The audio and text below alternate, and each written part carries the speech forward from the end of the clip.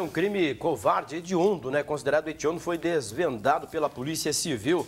É exatamente a apresentação ontem do preso acusado de latrocínio, roubo seguido de morte. Olha, segundo informações do Brito, nosso querido Silvano, na mesa da delegacia os papéis mostraram o caminho, Diogão, que levou até o Igor Machado da Silva, 23 anos, acusado de latrocínio, roubo seguido de morte, preso ontem. O crime foi esclarecido em um mês e meio. Como não havia testemunha, Diogão, os policiais da delegacia de furtos e roubos procuraram câmeras privadas de segurança que ajustaram aí, né, ajudaram, digo melhor, na identificação. O crime ocorreu no dia 20 de março numa casa ali na rua Iguapé. O bandido pulou o muro para furtar, mas se deparou, Diogão, com a moradora, a dona Teruko Kobayashi, 65 anos.